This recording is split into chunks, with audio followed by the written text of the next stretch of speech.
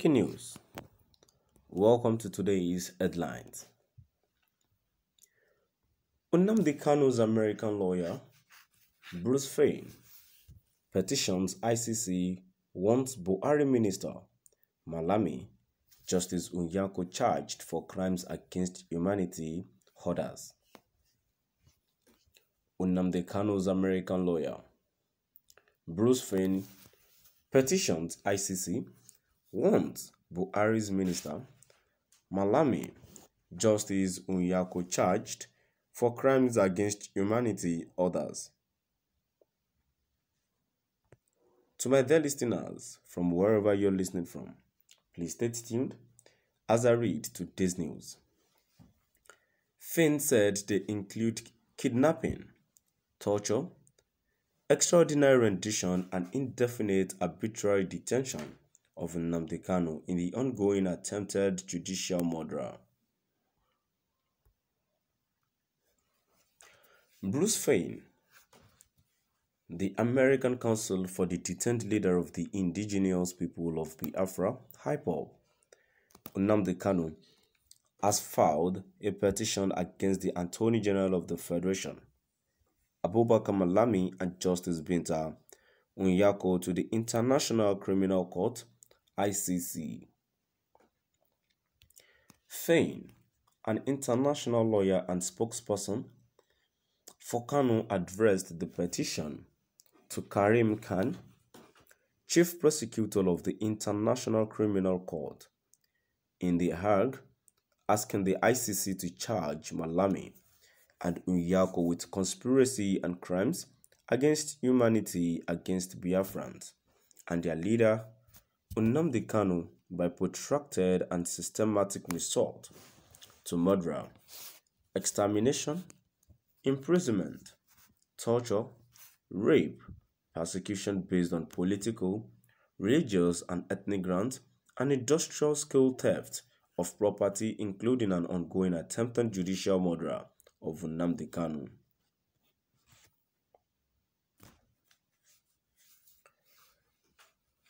In the document obtained by Sahara reporters on Wednesday, Finn said in October 2020, five human rights experts of the United Nations Human Rights Council asked President Buhari within 60 days to submit evidence of Mr. Kanu's terrorism. Mr. Buhari sneered at the overture, probably reflecting being a tyrant means you never need to obey the law. It said, Kanu is seeking a Biafran sovereignty, adding that a referendum is not special pleading.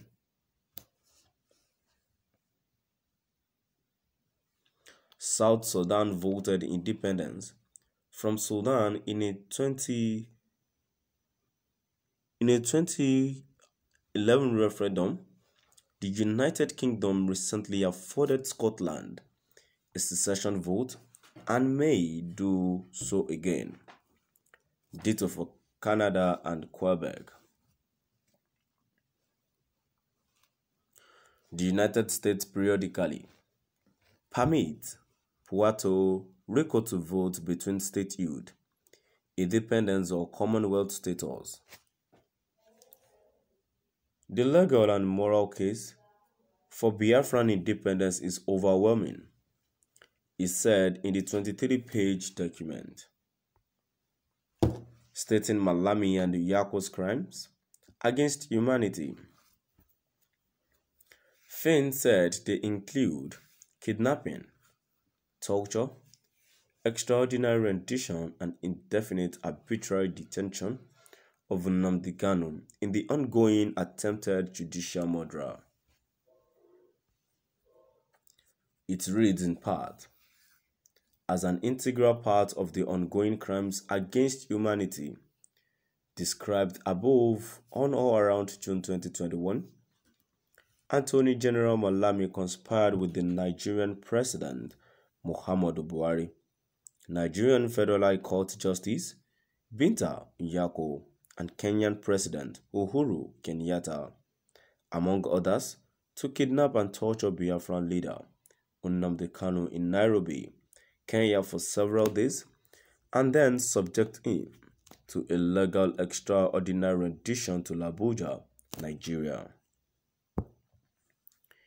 There, for more than nine months, Nnamdi Kanu has been detained in solitary confinement in extremely confined quarters and denied necessary medical care and legal counsel without a trial with the illegal imprimatur of co-conspirator Justice Binta Unyako.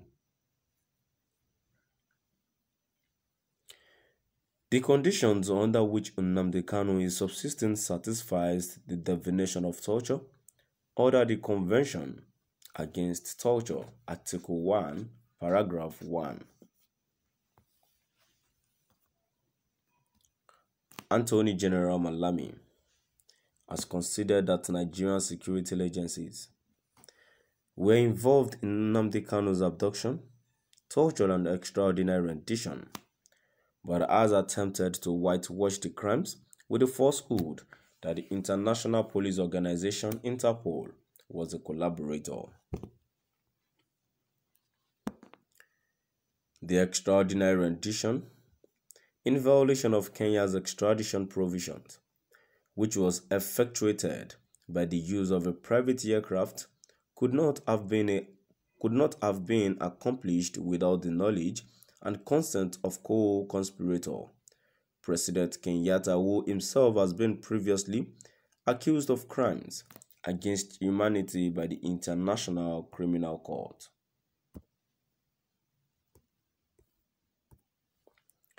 Judges like co-conspirator Justice Beta Onyako are not shielded from criminal prosecution for crimes against humanity based on participation, especially illegal show trials. Neither are prosecutors like arch-conspirator Attorney General Malami. The president was set in the justice case of the post-World War II Nuremberg trials, United States v. Joseph Altstötter et al. To my dear listeners, now we've come to the end of our today's news. Please do drop by at the comment section and let us know what your view is all about. Thank you for listening.